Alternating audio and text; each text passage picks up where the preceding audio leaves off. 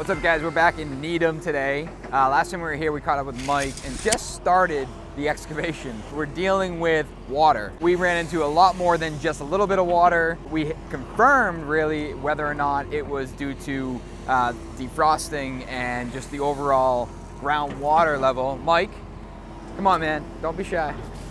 So last time we were here, we were talking. We had started. Uh, we were down in this area here, and I think you had noted that you had hit ledge, but we were also we dealing with water, and water being yes. a big issue in the hole. Yep. So, I think it was that day you had reached out to a geotech engineer. Yep. We wanted to make sure that we were doing our due diligence and efforts to whatever we're going to build here. We want to make sure we know how to best position it. Yeah. What was their recommendation?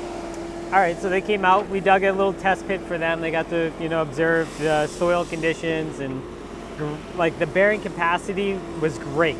The issue was we had a lot of water. So in order to stabilize make sure that we provide a solid footing for this house, their recommendation was to install six inches of stone underneath where the footing is going to be and then compact it um, just to make sure that everything does stabilize. And, and not only so the stone is to help kind of give us that base layer, like you said. Yep. But it also we dealt with ledge, right? Yeah. So we have ledge right here, which last time we were talking about the shale, uh, which now it looks like shale because it's been hammered up. We're actually raising the elevation of the house. What and yep. how much are we raising it? Uh, we're doing about six inches. And why is that? That's to give us some separation from where the water table is. So the fact that we hit bedrock, right? Your water kind of like percolates down through the different layers of the soil, and then when you hit the bedrock, it's, it's sitting there, right? It can't go through it. We're bringing in the six inches of stone to help lift this up, give the water somewhere to go underneath that footing, so then this house isn't just sitting in a puddle the entire time. So if that concrete footing was on that bedrock, it would just would be always be wet. wet, right? Yep. So now we're creating a little separation. Now, it's important to note this house is actually already being risen up. Yes. And one thing that we're really conscious about is what that front stoop might look like in comparison to the street. Yep. So are we, how much are we bringing this house up?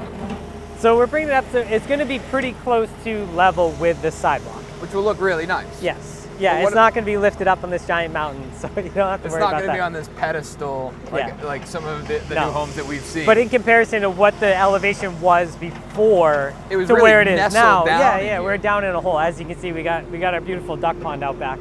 that low area. Not really so, a duck pond. no, we're gonna have to address that, and so we'll, we'll start taking care of that now. But. So let's walk this way. But while we're walking, I'm gonna we're gonna jump over this here.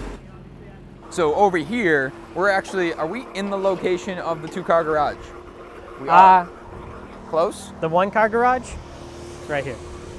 One car garage is here. Yeah. So, okay, I got you. So we actually have a little bit more of ex excavation to do. Yeah, we do. Yeah.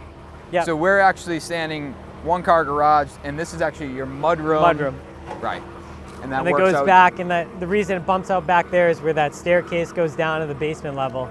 Gotcha. And then your two bay garage as you pull in is back over where that puddle is right now. And so that's, we gotta start addressing that. So it's interesting to stand over here because looking back at the excavation, you're probably about seven feet.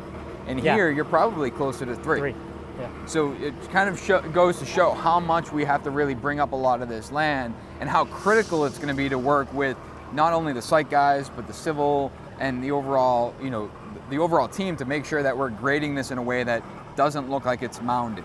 Yeah. And that's the biggest concern. One, one of the things that came up is that, you know, in communicating with the client, we had we explained the benefit of raising this house up for yep. the longevity because of water. But one of the questions came up was, well, is it going to be too high?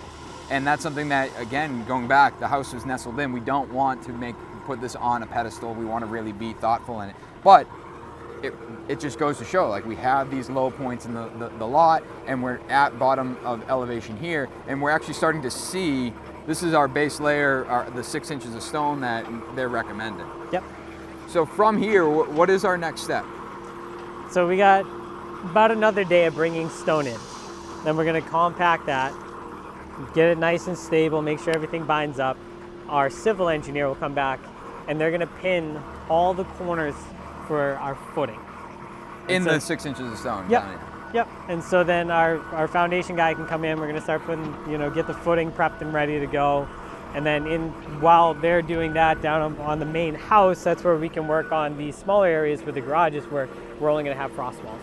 Right. So we only have to dig down. Well, I mean, this we only have to go down three feet. So over there, we're going to be barely scratching the surface. Right.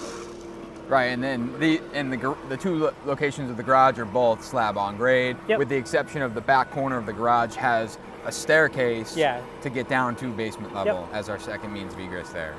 Cool. So what, as far as pumping this water out, is this something that we're doing on a daily, or is this pump going to run continuously until we're out of hole? Uh, it's kind of day to day right now, uh, depending on what we have for weather, warm temperatures, things thawing. What are we you know. finding when we're getting here in the morning?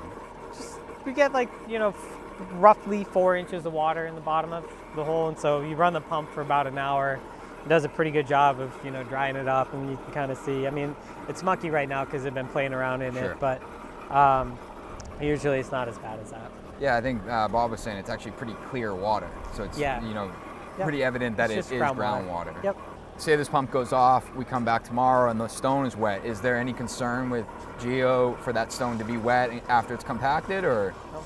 So one because realistically, this is the condition it's go- this stone's going to live in for Yep. the.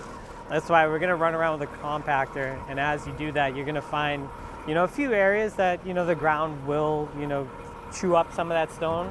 But if you keep hammering it in, it'll bind up, and then that's what they want to see is when it gets solid. Yeah, really good compaction. Yep. So beyond that, once we get our footings in place, you know, one of the details that we're always putting or always including is our capillary break, and it's even more important here, being that we are dealing with groundwater. Mm-hmm. If that foot footing is wet, we don't want water wicking up through that footing, Into through foundation. into the foundation wall. So we'll have that, you know, basically waterproofing layer on top of our footing prior to our walls going on, and then we'll have our waterproofing layer on the outside of the foundation wall, which will create a monolithic uh, seal between footing and wall.